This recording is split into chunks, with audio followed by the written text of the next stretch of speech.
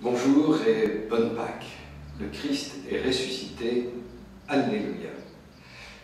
Pendant 50 jours, nous allons célébrer Pâques.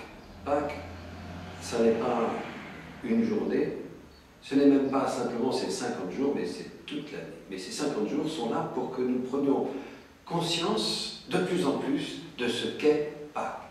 Qu'est-ce que c'est que Pâques? C'est Jésus est ressuscité. Et Jésus est ressuscité, c'est un homme et il est Dieu. Ça veut dire qu'un homme est auprès de Dieu et d'abord ça éclaire notre avenir. Si nous sommes liés à Jésus, nous ressusciterons. Et nous sommes déjà en partie ressuscités.